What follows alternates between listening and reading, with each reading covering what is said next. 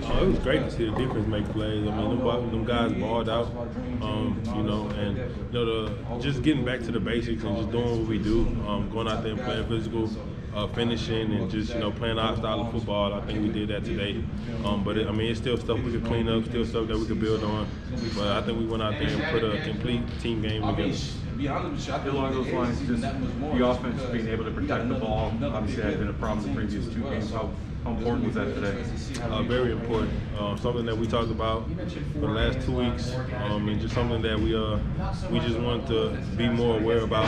Uh, just protecting the ball, not having it loose away from our body, and uh, just going out there running hard and finishing our runs. Um, and today we was able to protect the football, and we ran the ball pretty well. How about overall, just, you know, those two losses going into the bye, you come back and you get a, a dub, just how good does that feel and how important is that? Uh, it feels great. Um, felt good. Uh, I think the team we definitely needed that. Uh, we needed to feel, you know, get us another win and you know just try to build on it. You know, um, you know it's, it's it's around that time right now where you know things are getting things are getting tight and you know we just got to find a way to win ball games and go out there and just try to make our push.